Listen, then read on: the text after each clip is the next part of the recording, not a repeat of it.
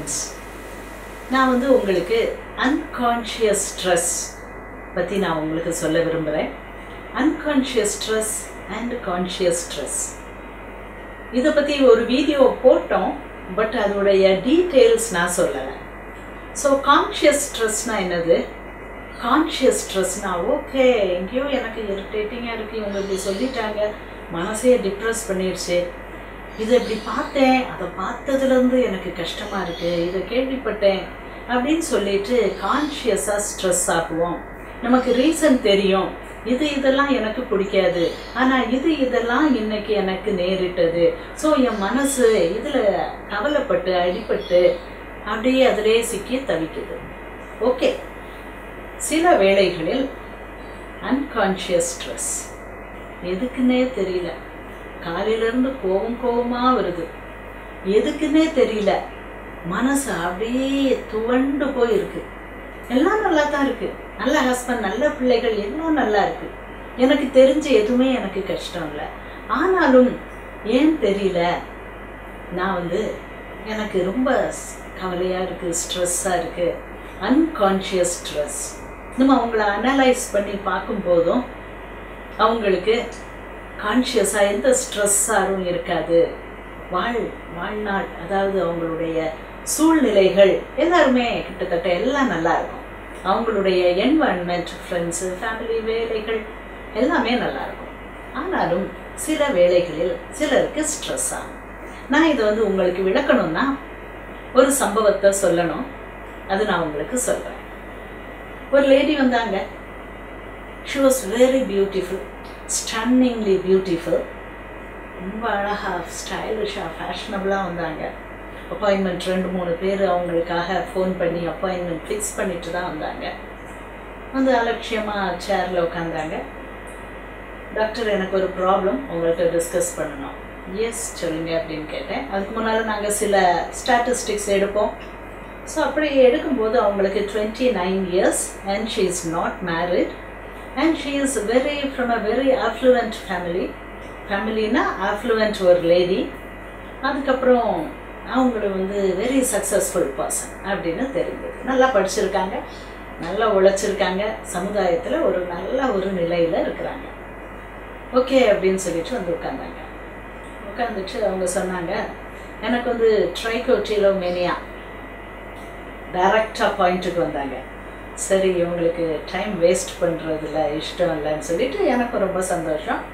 Okay எவ்வளோ நாளாக இருக்குது லாஸ்ட் சிக்ஸ் இயர்ஸாக இருக்குது ட்ரைகோட்டிலோமேனியா அப்படின்னா என்னதுன்னா தன்னை அறியாமலேயே தலையிலிருந்து அந்த தலை மிடி முடியை பிடுங்கி எடுக்கிறது. ஓகே ஸோ இந்த ட்ரைகோட்டிலோமேனியா எனக்கு இருக்குது. ஆறு வருஷமாக இருக்குது. முதல்ல கம்மியாக தான் இருந்தது. தெரியாது. இப்போ வந்து எனக்கு அது ரொம்ப அதிகமாக இருக்குது அதுவும் இந்த லாக்டவுன் பீரியடில் வந்து எனக்கு அது கொஞ்சம் ஜாஸ்தியான மாதிரி தெரியுது. அப்படின்னு சொன்னாங்க. நான் ஆச்சரியமாக அப்படியா அப்படின்னு சொல்லிட்டு அவங்க தலையை பார்த்தேன். நான் என்னுடைய பார்வை போகிறத பார்த்துட்டு no it is a wig அது வந்து ஒரு நல்ல ஒரு இம்போர்ட்டட் விக் எனக்காக அது ஸ்பெஷலாக நான் பண்ணி இது பண்ணது. ஸோ உங்களுக்கு அதை பார்த்தா தெரியாது அப்படி சொன்னாங்க. ஓகே அப்படியா? அப்படின்னு சொல்லிட்டு சரி அப்போ நான் இந்த விக்கை எடுத்து பார்க்கலாமா? அப்படின்னு கேட்குறதுக்காக ஒரு வாயை திறந்திருப்பேன். ஆனாலும் அதை கெஸ் பண்ணி no I don't want to show you anything அது அப்படி தான் அது ஜாஸ்தியாக இருக்கும். ஸோ வந்து எனக்கு வந்து நீங்கள் எப்படி இதை சமாளிக்கிறது? அப்படின்ட்டு கேட்டேன். சரி அப்படின்ட்டு நான் யோசிச்சிட்டே இருந்தேன். எல்லாம் அவங்களுடைய ஹிஸ்ட்ரி எல்லாம் பார்த்தோன்னா எக்ஸலண்ட்டாக இருக்குது அப்பழுக்கு இல்லாமல் இருக்குது. நல்ல ஸ்கூல்ஸில் படிச்சிருக்காங்க. ஹை மார்க்ஸ் வாங்கியிருக்காங்க. தனக்கு பிடித்த படிப்பை தேர்ந்தெடுத்து நல்ல டாப் எல்லாத்துலேயும் கோல்டு மெடலிஸ்ட் எல்லாத்துலேயும் வியக்கத்தக்க ஒரு இது இருக்குது. என்னென்னலாமோ எக்ஸாம்ஸ் எழுதி பாஸ் பண்ணியிருக்காங்க. அப்ராடில் போய் படிச்சிருக்காங்க. எல்லா ஸ்காலர்ஷிப்ஸ் அது இது எல்லாம் கிடைச்சிருக்கு. எல்லாத்துலேயும் ஒரு பெரிய ஒரு பொசிஷனில் இருக்கும்போதே ஒரு ஸ்டார்ட் அப் தொடங்கியிருக்காங்க இந்தியாவில் it's a grand success so இந்த ஸ்டார்ட் அப்பில் இருக்கும்போது இப்போ வந்து ஒருத்தரை பிடிச்சிருக்கு அவங்களுக்கு. அவங்கள பிடித்து ஓகே அவங்க ரெண்டு பேரும் சேர்ந்து தான் இப்போ லிவிங் டுகெதர் லிவிங் டுகெதர்லாம் நல்லா இருக்கிறாங்க சந்தோஷமா இருக்கிறாங்க. ஓகே குழந்தை பெற்றுக்கொள்வதற்காக நம்ம அதை கல்யாணம் பண்ணிக்கலாமா அப்படிலாம் யோசிச்சுட்டு இருக்காங்க. அடுத்த ஸ்டெப் அவங்களுடைய ஸ்டார்ட் அப் ரொம்ப நல்லா வந்திருக்கு. அதை அடுத்த ஸ்டெப்புக்கு எப்படி அதை மூவ் பண்ணி கொண்டு போகலாம். ஸோ இந்த ஸ்டேஜில் தான் வந்தாங்க. எனக்கு வந்து என்னோட அந்த என்னுடைய பார்ட்னருக்கு தெரியாது. நான் வந்து இந்த பிரச்சனை எனக்கு இருக்குன்னு சொல்லிட்டு ஸோ நான் அவரோட நல்லா சீரியஸாக நான் கமிட் பண்ணுறதுக்கு முன்னால் நான் வந்து உங்கள்கிட்ட ஒரு கன்சல்ட் பண்ணி பார்க்கலாம். அப்படின்ட்டு வந்தேன் அப்படின்னாங்க. அப்படியா அப்படின்னு சொல்லிட்டு டாக்டர் நான் வந்து நிறைய பேரை கன்சல்ட் பண்ணியிருக்கேன் அப்ராட் நிறைய பேரை நான் கன்சல்ட் பண்ணியிருக்கிறேன். எனக்கு எதுவும் செட் ஆகலை. அதுக்கப்புறம் டேப்லெட்ஸும் சாப்பிட்டு பார்த்துருக்கேன். மாறி மாறி அதே சேம் குரூப் கொடுப்பாங்க இல்லை வேறு பிராண்டு கொடுப்பாங்க அப்படி கொடுப்பாங்க. பட் எனக்கு எதுலேயுமே நம்பிக்கை இல்லை. சரி அதான் உங்கள்கிட்ட ஒரு வார்த்தை கேட்டுடலாம் அப்படின்னு சொல்லிட்டு வந்தேன். சம்பவம் ஏதோ நீங்கள் சொல்கிறதுல எனக்கு ஏதோ ஒரு செய்யலாம்னு தோணுது. So I thought okay let's have a consultation சொல்லிட்டு வந்தேன் அப்படின்னு சொன்னேன். ஓகே அப்படின்னு சொல்லிட்டு எப்போ நீங்கள் இந்த இது உங்களுக்கு எப்படி தொடங்குச்சுன்னா முதல் முதல்ல அது ஒரு ஒரு கான்ஃப்ளிக்ட் ஒரு லவ் அஃபேர் அது ஃபெயிலியர் அப்படி இப்படி அப்படி இப்படி தொடங்கிச்சு. அம்மாவோட பிரச்சனைகள் சண்டைகள் அப்பா அம்மாவோட சண்டைகள். அதுக்கப்புறம் நான் started living on my own அப்போ வந்து கொஞ்சம் குறையும். சில வேலைகளில் ஜாஸ்தியாகும். எப்பவும் ஜாஸ்தியாக இருக்குது. ஓகே நீங்கள் அதை உங்களால் கண்ட்ரோல் பண்ண முடியுதா? முடியலையா? உங்களுக்கு தெரியுமா? ரொம்ப ஸ்ட்ரெஸ் ஆகும்போது தான் நீங்கள் வந்து அதை பண்ணுவீங்களா? முடிய பிடிச்சி இழுத்து இழுத்து எல்லாத்தையும் எடுத்துருவீங்களா? இல்லை டாக்டர் ஸ்ட்ரெஸ் ஆகும்போது நான் பண்ணவே மாட்டேன். நான் எப்போ என்ஜாய் பண்ணி என்னுடைய வேலைகளில் நான் ரொம்ப ஒரு கிரியேட்டிவ் ஒர்க்கர் ஸோ என்னுடைய வேலைகளில் நான் முழு ஈடுபாடுடன் நான் வேலை பார்த்துட்டு ரொம்ப எனக்கு மனசுக்கு சாட்டிஸ்ஃபேக்ஷனாக ஒன் ஆர் டூ ஆர் சிலவில் த்ரீ ஹவர்ஸ் கூட நான் அப்படி என் ஃபுல் கான்சன்ட்ரேஷன் என் மைண்டை செலுத்தி அதில் என்ஜாய் பண்ணி இன்வால்வ் பண்ணி நான் என் வேலையை முடிச்சிட்டு சந்தோஷமாக நான் எழும்பும்போது நான் என்னைய சுற்றி பார்ப்பேன் அதிர்ந்துருவேன். முடியா இருக்கும் முடியா இருக்கும் எனக்கு அதிர்ச்சி ஆயிரும். ஐயோ அப்படின்னு சொல்லிட்டு யாரும் பாத்திரக்கூடாதுன்னு சொல்லிட்டு வேக வேக வேகமா நான் அதை கூட்டி பெருக்கி அதை நானே க்ளீன் பண்ணுவேன். இதுதான் என் ப்ராப்ளம் அப்படின்னு சொன்னாங்க. ஓ அப்போ வந்து நீங்கள் வந்து ஸ்ட்ரெஸ் ஆகும்போது நீங்கள் அதை செய்யலை. உங்கள் முடியை பிடிச்சி இழுக்கிறது யூஸ்வலாக என்ன செய்வாங்கன்னா நகங்கடிப்பாங்க சின்ன குழந்தைகள் கை சப்புவாங்க. ஆனால் எப்போ? ஏதாவது தேடும்போது ஏதாவது ஐயோ நமக்கு கஷ்டமாக இருக்கே அப்படிங்கும்போது தன்னால் கை போகும். தன்னால் நகங்கடிப்பாங்க ஸ்ட்ரெஸ் ஆகும்போது தெரியும் அவங்கள பார்த்தாலே. ஆனால் இங்கே ஒரு பெண். நான் ஸ்ட்ரெஸ் ஆகும்போது என்னால் என் ஃபீலிங்ஸை கண்ட்ரோல் பண்ண முடியும். நான் ஸ்ட்ரெஸ்ஸே இல்லாமல் இருக்கும்போது அன்கான்ஷியஸாக நான் முழு மனதுடன் எனது மூளை எல்லாம் என்ஜாய் பண்ணி சந்தோஷமாக என்னுடைய மேக்சிமம் பொட்டென்ஷியல் என்னுடைய பிரெயினுடைய பொட்டென்ஷியல் எது நான் நினைக்கிறேனோ அந்த பொட்டென்ஷியலை நான் என்ஜாய் பண்ணி அதில் வேலை செய்து நான் நிம்மதியுடன் என் வேலையை முடிக்கும்போது இவ்வளோ நேரம் ஐயோ என் முடி எல்லாத்தையும் நானே என் முடியை பிடுங்கி பிடுங்கி பிடுங்கி பிடுங்கி எடுத்து விடுவேன். சரி அப்படின்னு சொல்லிட்டு அவங்கள்ட்ட நான் பேசிக்கிட்டே இருந்தேன். Why don't you make it conscious அப்படின்ட்டு கேட்டேன். சரி அன்கான்ஷியஸாக நீங்கள் பண்ணுறீங்க உங்கள் முடியை வந்து அன்கான்ஷியஸாக நீங்கள் எடுத்து போட்டுறீங்க why don't you make it a conscious thing doctor என்ன சொல்கிறீங்க கான்ஷியஸாக எங்கள் முடியை எடுத்து பிடித்து பிடித்து எழுத சொல்கிறீங்களா எஸ் மேக் இட் கான்ஷியஸ் அவங்களுக்கு ஒரு புரியல. என்னை பார்த்து அப்படியே சிரிச்சாங்க. நான் வந்து என் தலை என் கைக்கு என் கை வந்து என் தலைக்கு போகிறதே தெரியாது. நான் எப்போ அதை இது பண்ணுறேன்னே எனக்கு தெரியாது. எஸ் அது எல்லாத்தையும் நீங்கள் ஃபாலோ பண்ணுங்க. எப்போ உங்கள் கை நீங்கள் அழகா உங்கள் க்ரியேட்டிவாக நீங்கள் ஒர்க் பண்ணிகிட்டு இருக்கும்போது உங்களுடைய மூளைக்கு எட்டாமல் அன்கான்ஷியஸாக உங்கள் கை எப்போ போகுது? உங்கள் தலையில் போய் அந்த முடியில் போய் தொடுது. அந்த முடியை ஒன்னொன்னையா தொட்டு தொட்டு எப்போ அப்படியே சுற்றி இழுக்குது? மேக் இட் கான்ஷியஸ் அப்படின்னு சொன்னேன். அப்படியே யோசித்தாங்க யோசித்தாங்க அப்படி சிரிச்சுக்கிட்டாங்க யோசித்தாங்க. என்னால் முடியாது. எனக்கு நான் எப்போ என் கையை நீ என்ன ஒரு கேமரா வச்சு வாட்ச் பண்ண சொல்கிறீங்களா okay you can do it உங்களை சுற்றி நல்லா உங்களுடைய ப்ரைவேட் ரூமில் நல்லா கேமரா வச்சுக்கோங்க. திருப்பியும் யோசித்தாங்க. டாக்டர் நான் வந்து இதை பற்றி வாசிக்கவே மாட்டேன். நான் வந்து ஒரே ஒரு தடவை அதில் உள்ள ஒரு ஃபோட்டோ பார்த்தேன். நெட்டில் சர்ச் பண்ணி ஒரு ஃபோட்டோ பார்த்தேன். ஐயோ வேண்டாம். அப்படின்னு சொல்லிட்டு நான் நெட்டில் அதை பற்றி எதையும் நான் சர்ச் பண்ண மாட்டேன். உலகத்தில் உள்ள எல்லா விஷயங்களை பற்றியும் நான் சர்ச் பண்ணியிருக்கேன் உல இந்த நெட்டில் பட் இதை மட்டும் பற்றி பார்க்கவே மாட்டேன் பாயும். ஐயோ நான் இதை பற்றி ரொம்ப தெரிஞ்சுக்கிட்டா இதில் ரொம்ப சிக்கிடுவேனோ ரொம்ப மாட்டிக்குவேனோ? இதை பற்றி என் அறிவு எல்லாவற்றையும் செலுத்தி நான் ஆராய்ந்தால் இந்த ப்ராப்ளம் ரொம்ப ஆயிடுவோமோ ஆயிரும் ஆயிருமோன்னு சொல்லிட்டு நான் பயப்படுவேன் டாக்டர் வேண்டாம் இதை விட்டுட்டு வேறு ஏதாவது சஜஷன் சொல்லுங்களேன். நோ இப்போமே ஓப்பன் பண்ணுங்க. பாருங்க ட்ரைகோட்ரிலோ மேனியானா என்னன்னு பாருங்கள் அக்கு வேற ஆணி வேற அலசி பார்ப்போம். அதானே உங்கள் ப்ராப்ளம் இதில் தானே வெளியே வரணும். உங்களுக்கு எல்லாம் நல்லது தானே வாழ்க்கையில் எல்லாம் சக்ஸஸ் தானே? இங்கே ஒரு இடத்துல தானே தடுமாறுவீங்க. ஆமாம் டாக்டர் சரி டாக்டர் நான் நீங்கள் சொல்கிற மாதிரி நான் பண்ணி பார்க்குறேன். அப்படின்னாங்க. ஓகே அப்படின்னு சொல்லிட்டு போயிட்டாங்க. ஸோ ஹைலி இன்டெலிஜென்ட் பீப்புள் நல்லா புரிஞ்சுக்கிட்டாங்கன்னா அவங்களுக்கு ஈஸியாக சொல்லிடலாம். ஈஸியாக வழிகாட்டிடலாம் ஓகே அப்படின்னு சொல்லிட்டு அடுத்த நாள் ஃபோன் பண்ணாங்க.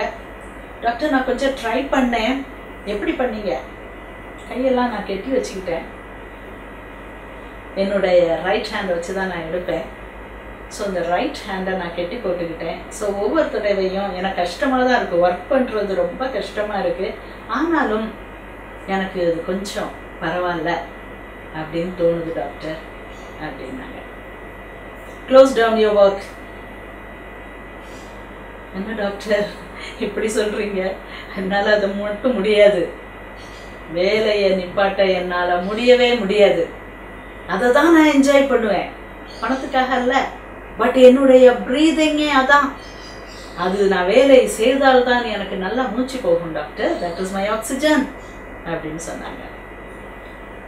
க்ளோஸ் டவுன் யூ ஒர்க் நீங்கள் ரொம்ப ஒர்க் பண்ணும்போது தானே நீங்கள் பண்ணுறீங்க. டாக்டர் ஓடியூஸே சே நான் என் வேலையை விட்டுட்டேன் நான் எப்படி இருக்க முடியும்? எஸ் உங்களுக்கு எந்த விதமான ப்ரெஷரும் இருக்கக்கூடாது. பட் என்னுடைய ஒர்க்கை நான் என்ஜாய் பண்ணுறேனே அது நாட் அட் ஆல் எனக்கு ஒரு ப்ரெஷரே கிடையாது டாக்டர். என்னை புரிஞ்சுக்கோங்களேன். சரி. அது உங்களுக்கு என்ஜாய்மெண்ட் தான் உங்களுக்கு ப்ளஷர் தான். That is the way you make money that is the way இவ்வளோ நாளும் நீங்கள் வளர்ந்து வந்திருக்கீங்க. அதுதான் உங்களுடைய ஜாய் அதுதான் உங்களுடைய ப்ரைடு ஆனால் அதே இடத்துல தான் நீங்கள் தடுமாறுறீங்க. அந்த வேலையை செய்யும்போது தான் உங்களுக்கு இது வருது. So shut down your work என்ன டாக்டர் இப்படி சொல்கிறீங்க நான் நீங்கள் சொல்கிறத கேட்க மாட்டேன். இல்லை நீங்கள் கேட்க தான் செய்யணும். இல்லை டாக்டர் நான் என் ஒர்க் இது பண்ணாமல் நான் என்ன செய்ய முடியும்? எனக்கு இதை தவிர வேறு எதுவும் தெரியாது. இதுதான் நான் செய்ய முடியும். எனக்கு வேற ஹாபி அப்படி இப்படின்ட்டுலாம் இருக்குது ஆனாலும் என்னுடைய மனசு அதில் நிலைக்காது. ஒரு நாளைக்கு I use to work even twelve thirteen fourteen hours நான் ரொம்ப டைம் அழகாக மேனேஜ் பண்ணுவேன். டைம் மேனேஜ்மெண்ட்டில் என்ன யாருமே மிஞ்ச முடியாது. ஸோ நான் வந்து நீங்கள் சொல்கிறத என்னால் அக்செப்ட் பண்ணவே முடியல. நான் சொன்னேன் இங்கே பாருங்கள் நீங்கள் வந்து டேப்லெட் வேண்டாம்னு சொல்லி தான் என்கிட்ட வந்தீங்க. ஓகே காக்னேட்டிவ் பிஹேவியர் தெரப்பி இதுக்கு ஒர்க் அவுட் ஆகுமா? எனக்கு ஒரு ப்ராப்ளம் இருக்குது அப்படின்ட்டு என்கிட்ட டீல் பேசிட்டு தான் வந்தீங்க. ஓகே காக்னேட்டிவ் பிஹேவியர் தெரப்பி உங்களது அந்த கை உங்கள் தலையில் போய் உங்களுடைய சொந்த முடியை பிடித்து இழுத்து தூர போடுறது வேண்டாம் அப்படின்னு நீங்கள் நினச்சிங்கன்னா உங்களுடைய மூளையை கீழே கலட்டி வச்சுட்டு ஏன் மூளையை அங்கே வைக்கணும். இட் இஸ் பிரெயின் டிரான்ஸ்பிளான்ட் என்னுடைய மூளை உங்கள் மூளையில் இருக்கணும். என்ன டாக்டர் சொல்கிறீங்க I don't understand what is yes உங்கள் மூளையை ஆஃப் பண்ணுங்க. டிரான்ஸ்பிளான்ட் பண்ண முடியாது. ஆனால் கம் ஃபார் பேரலல் திங்கிங் நான் என்ன சொல்கிறேனோ அதையே ஃபாலோ பண்ணிட்டு வரணும். ஜஸ்ட் டுவெண்ட்டி ஒன் டேஸ் தான். டுவெண்ட்டி ஒன் டேஸ் உங்கள் மூளையை உங்கள் brilliant excellent unique very creative இந்த எல்லா மூளைகளையும் ஆஃப் பண்ணி கொஞ்ச நாளைக்கு கீழே வச்சுருங்க. ஏன் மூளை அங்கே இருக்கட்டும்? கனெக்ட் வித் மை பிரெயின் அது எப்படி முடியும்? சொல்கிறதெல்லாம் நீங்கள் சொல்கிற ஐடியாலாம் கேட்க நல்லா இருக்குது but will it work out practical is it practical? Yes it is very much practical. I say the world is flat. அப்படின்னு அப்படியே என்னை பார்த்து முறைச்சிக்கிட்டே உட்காந்துருந்தாங்க சொல்லுங்க வேர்ல்டு ஃப்ளாட் தானே அப்படின்னு உலகம் உருண்டை அல்ல உலகம் தட்டை புரிஞ்சுக்கிட்டாங்க சிரிச்சாங்க எஸ் ஐ திங்க் ஸோ அப்படின்னாங்க எனக்கும் புரிஞ்சிச்சு. சரி இனிமேல் இவங்க சரியாக வந்துடுவாங்க அப்படின்னு சொல்லிட்டு பி கனெக்டட் வித் மீ வாட்ஸ்அப்பில் கனெக்ட் ஆயிருங்க. எப்போ எப்போ வேணுமோ உங்களுக்கு அப்போல்லாம் கனெக்ட் ஆயிருங்க அப்படின்னு சொன்னேன். அடுத்த நாள் அவங்க வாட்ஸ்அப்பில் வந்தாங்க. Madam I think the world is flat அப்படின்னு போட்டாங்க. எஸ் அப்படின்னு நான் சொன்னேன். த வேர்ல்டு ஸ்கொயர் அப்படின்னேன் no no the world is flat oh now the world square அப்படின்னேன் எஸ் த வேர்ல்டு ஸ்கொயர் அப்படின்னாங்க. ஸோ இது எங்களுக்குள்ள ஒரு கோட் வேர்ட் ஆயிடுச்சு. ஒர்க் பண்ணாமல் என்ன பண்ணுறீங்க அப்படின்னு. Yes it is very very difficult நான் எது எதெல்லாம் ஆசையாக நான் செய்யணும்னு நினைக்கிறேனோ அதெல்லாம் வேண்டாம்னு சொல்லிட்டீங்க. என் கம்ப்யூட்டர் என்னுடைய டேபிள் என்னுடைய ஓன் கார்னர் ஸோ இதை நீங்கள் யூஸ் பண்ணக்கூடாது அப்படின்னு சொல்லியிருக்கீங்க. எஸ் நானும் என்னென்னலாமோ செய்து பார்க்குறேன் டாக்டர் பட் ரொம்ப கஷ்டமாக இருக்குது பட் உங்களுக்கு ஒன்று தெரியுமா? நான் நேற்றுல வந்து நான் என் ஹேர் தலையில் க ஹேரில் கையே வைக்கலை. ஓ அப்படியா? நீ கெட்டி போட்டிங்களா? கையை? அப்படின்னு கேட்டேன். நீங்கள் தான் கெட்டி போடக்கூடாது சொல்லி நீங்கள் தான் வேலையே அங்கே போய் உட்காரவே கூடாதுன்னு சொல்லியிருக்கீங்கல்ல. ஸோ கெட்டி போட வேண்டிய அப்புறம் இதுவும் இல்லை. பட் எனக்கே தெரியல ஆச்சரியமாக தான் இருக்குது நான் பண்ணலை அப்படின்னாங்க. ரொம்ப சந்தோஷம். ஸோ சில வேளைகளில் அன்கான்ஷியஸ் ஸ்ட்ரெஸ்ஸார் ரொம்ப இருக்கும். டாக்டர் எவ்வளோ நாள்? இருபத்தோரு நாள் தான். உங்கள் பிரெயின் ரீவயர் ஆகட்டும். என்ஜாய் பண்ணுறதை செய்யும்போது கை அங்கே போய் தலையை போய் துளாவதை விடக்கூடாதுன்ட்டு அதை ரியலைஸ் பண்ணுற வர மாறி உங்களுடைய அந்த ஃபைன் கண்ணுக்கு தெரியாத மைக்ரோஸ்கோபிக் மைன்யூட் அந்த பிரெயின் கனெக்ஷன்ஸ் ரீஅரேஞ்ச் ஆகிற வரைக்கும் தான் டுவெண்ட்டி ஒன் டேஸ் போதும். டுவெண்ட்டி ஒன் டேஸ் நீங்கள் எப்படி செய்யுங்க?